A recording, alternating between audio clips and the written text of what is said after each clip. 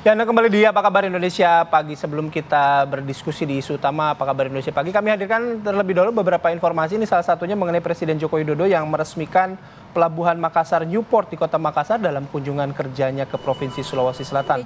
Pelabuhan dengan nilai investasi 5,4 triliun rupiah ini diharapkan dapat meningkatkan efisiensi biaya logistik di tanah air. Presiden Ketujuh Republik Indonesia Joko Widodo meresmikan pelabuhan besar di Indonesia bagian timur, Pelabuhan Makassar Newport di Kota Makassar, Sulawesi Selatan.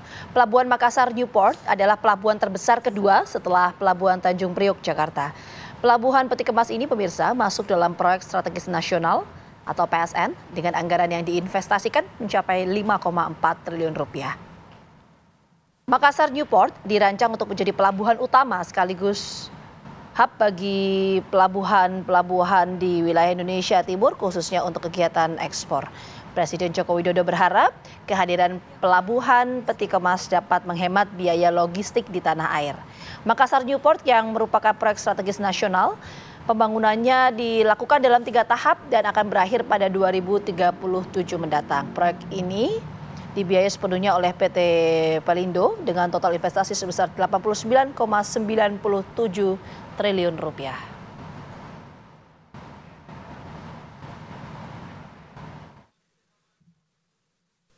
Investasi yang ditanamkan di sini 5,4 triliun rupiah.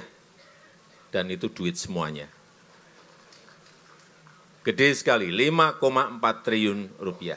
Kita lihat nanti bagaimana progres perkembangan pelabuhan ini, ini akan menjadi pelabuhan besar di Indonesia bagian timur yang kita harapkan bisa mengefisiensikan biaya-biaya logistik yang ada di tanah air kita.